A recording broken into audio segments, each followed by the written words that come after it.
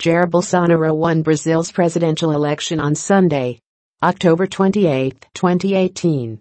Ricardo Moraes AP, by Fernando Henrique Cardoso October 29 at 11.39 a.m. Fernando Henrique Cardoso was the president of Brazil from 1995 to 2002. He is a member of the Berggruen Institute's 21st Century Council. Sao Paulo, the final outcome of Brazil's presidential election on Sunday, confirmed a trend delineated in the first round, a significant victory for Jair Bolsonaro, a retired army captain who for decades was a backbench congressman without any significant legislative record. He continually voted in favor of corporate interests and against a liberal economic agenda. He is also a relentless advocate of gun ownership and an ultra-conservative on moral and cultural issues like abortion and gay rights. Tellingly, his favorite motto is, a good criminal is a dead criminal. How did the unthinkable happen? Bolsonaro surfed a tsunami of popular anger and despair that swept away the entire Brazilian political system, along with the old party leaders.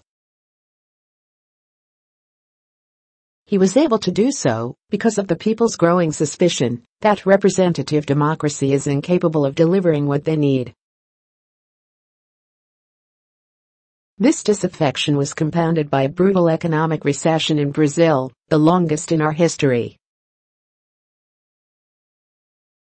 Unemployment soared, urban violence reached staggering heights, nearly 64,000 homicides in 2017, or 175 deaths per day. Organized crime spiraled out of control. Political parties, especially the left-wing Workers' Party, PT, floundered in corruption. It was no wonder that the political system collapsed. Of the four presidents elected after the 1988 Constitution took effect, two were impeached, one is in jail for corruption and the other is me. So far, the sweeping anti-corruption investigation, known as Operation Car Wash, has resulted in the indictments of a former PT treasurer, a former presidential chief of staff, the president of the lower house of Congress, a government minister and several state governors.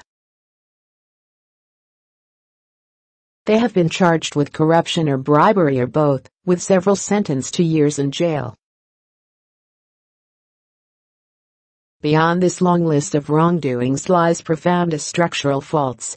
The fourth industrial revolution modified the forms of production and the way people relate to each other. Today, people are connected not just by their political organizations. The internet enhances connectivity and amplifies voices, subjecting voters to waves of opinion often driven by resentment and fear and sometimes hate. Meanwhile, mainstream media is losing its influence. Society has lost its former cohesion. Political parties and trade unions, which once gave meaning to political projects and ideologies, no longer draw support and solidarity. As a result, people's political choices are often guided by messages generated by their social networks And when the corruption of political parties, statesmen, and leaders is exposed, anger against politicians overshadows all other concerns. That is exactly what happened here in Brazil. It is imperative to reweave the threads that link political institutions with the dynamics of the economy and society. This will not happen by adhering to the regressive wave that divides society into enemy camps, but rather by exposing its inconsistencies with the national interest. In contemporary, networked societies, people are no longer an amalgam of individuals compacted into masses. They seek information to make individual choices. The common ground has not withered away, but it needs to be reframed so that is felt as something good for all people. Whenever there is an epochal shift like this, what once was solid seems to vanish into thin air. But it does not disappear. The challenge is to make values and interests coalesce in a contemporary way. During this electoral campaign, fear, insecurity and the visceral rejection of corruption touched people's hearts. The crossfire of accusations demoralized traditional parties and candidates. The media did its best to characterize all politicians as birds of a feather.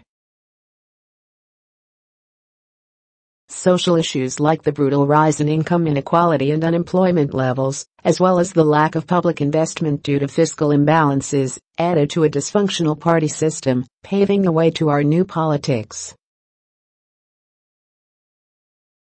The end result was no less than the emergence of a populist leader with no clear definition of public policies, no real congressional base of support, and no long-term political organization. This political crisis does not end with yesterday's election. Without rebuilding trust, how can the economy recover, employment rebound and social policies expand? This must be the agenda for the immediate future. Hopefully, the pathways to economic prosperity and social equality will be found. But the elected government does not look promising. Democracy was the overriding cause for my generation. It is always a work in progress. Today, it may be at risk in Brazil, as it is elsewhere. If human rights and the rule of law are threatened, our obligation will be to stand up and resist. This was produced by the World Post, a partnership of the Berggruen Institute and the Washington Post.